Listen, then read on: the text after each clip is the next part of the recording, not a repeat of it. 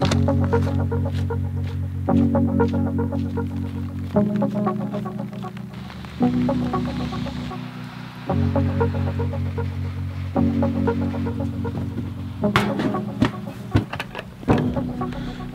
already used up all of our layer feed, or not all of it, but that whole barrel we bought before uh, in the fall time, it's already gone. And that's all of our chicken feed for our egg layers. But I actually forgot that we had more in this barrel.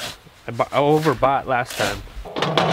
There's really nothing much going on on our homestead. We got some egg layers, you know, but we're we're starting to plan for this year as far as what we want to do. You know, do we want to get more pigs? I was hoping to get them in the winter, but that didn't happen. Guys, we've had an awesome response to our online private community group, plus our chicken butchering workshops. Because I know some of you guys want to get off of Facebook, and that's why we created this group, because it's ours. Uh, it's not on any social media platforms, it's our own, and you can access it through an app, which is amazing.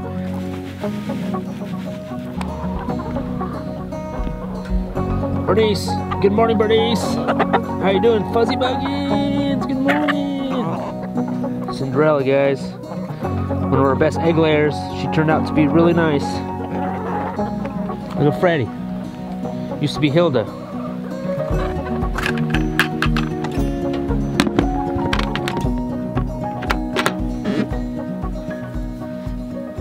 Got three eggs in here.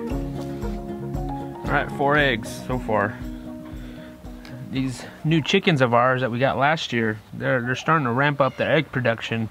And they've been giving us about seven eggs a day so far. We have 14 or 15 egg layers, but four of them are already five years old. Wow, guys, we've been here five years.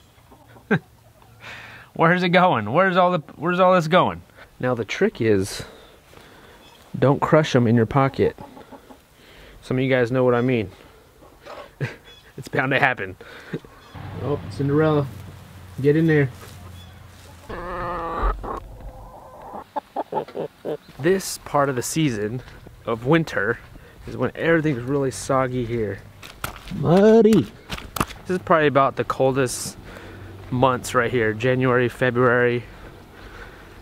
Um, we still we're still getting some snow off and on and we're gonna get some more snow I believe this week. But it's also the time of year where you're about done with winter. You're missing all the greens and and uh, wanting to really start your garden. But like I was saying, we're in a weird, a weird season for us right now, which we've never experienced. And that is, you know, we have talked about it here, but you know, we want to move. We want a little bit larger area. And I feel like this year is the year. That doesn't mean it's gonna happen. We want it to happen, but will it? I don't know.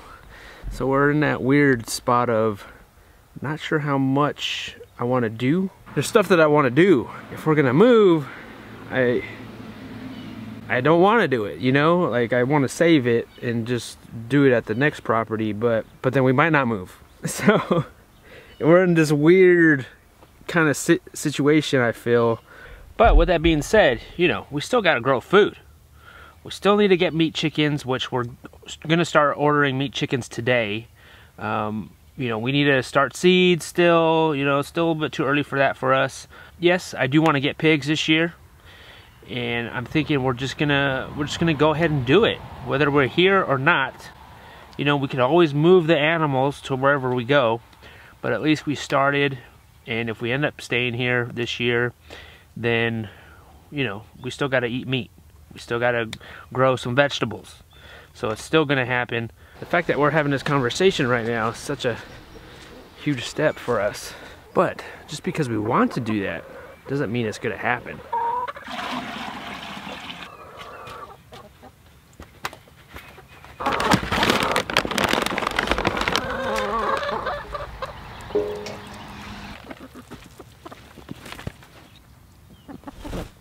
Freddie's been a good rooster. You've been a good boy, Freddie. I'm, I'm enjoying having you. a little skittish. He doesn't let me hold him, but maybe that's typical of a rooster. He might crow late afternoon a little bit, but he'll start crowing at 6 a.m. on the dot. So he's been my, my alarm clock.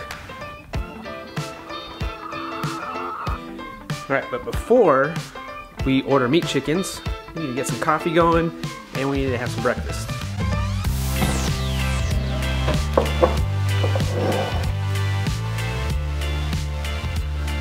Another thing we have going on today is we have a realtor coming over.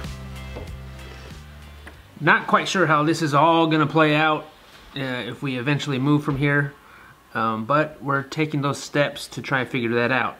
Also, this house is spotless. Loren's making some oatmeal. Mm-hmm.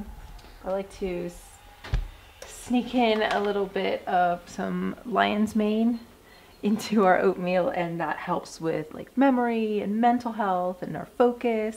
So we're gonna be really focused today. All right, I gotta ship out some orders. Also, some of you guys have been buying some hats. You guys have been shopping it up lately. We got some hats and some stickers. Uh, that's pretty much all we have on our Etsy shop is uh, some merch.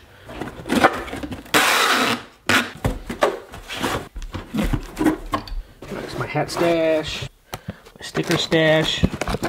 Where's my Bernice magnet? There you go, Bernice magnet. One of the tricks that we learned to clean our glass window without any cleaner is you take a wet, a wet paper towel and dip it into the ashes. It literally just wipes all of the, the window smudge off. And it's gentle enough where it won't scratch the glass, but it's abrasive enough for it to get all of the hard parts off. All right, hat, hat, hat.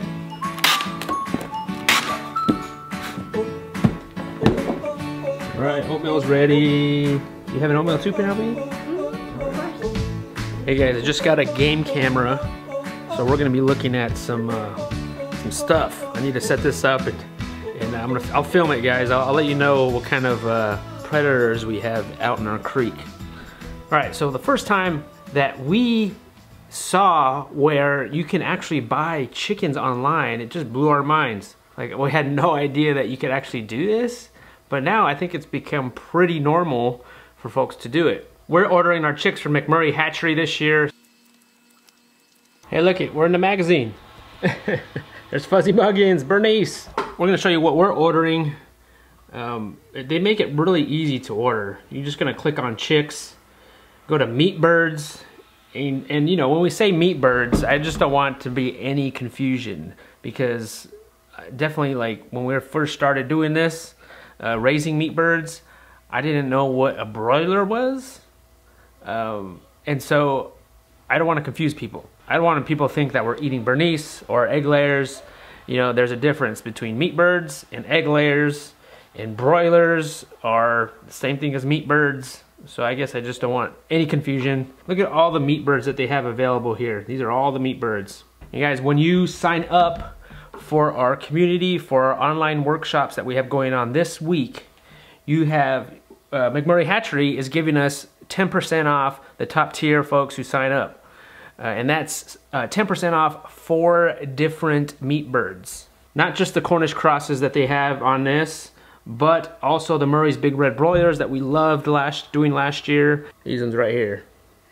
Murray's Big Red Broilers. They have three options, males, females, unsexed. We like to get the unsexed one because it's just really a mixture of roosters and hens. Now, for us, we do not vaccinate our chickens. Preferably, if we could help it, we will tell them don't vaccinate. And that's because I don't think it's needed. I mean, we raise our chickens on grass, we raise them in the sunshine, we raise them in fresh air. Uh, we don't keep them in a warehouse or in con total confinement.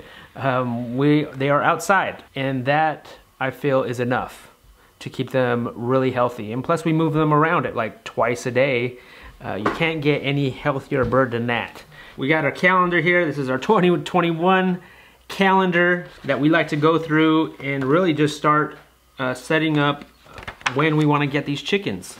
Hopefully we can get chickens on March 22nd that week that's when we'll get our first chickens in and then go from there. And then we'll also get another batch of red birds the end of May and then we'll butcher our first meat chickens that we got in March about middle of June. I'm already having people sign up to our member area our, that's uh, not on Facebook and I think people really enjoy that. The workshops, they're only available this week and we're gonna open it back up in a week and the reason for that is you know, once you purchase the workshop, a workshop, either tier one or tier two, uh, you will have access to that workshop plus access to the community and all the bonuses that come with it for the entire year.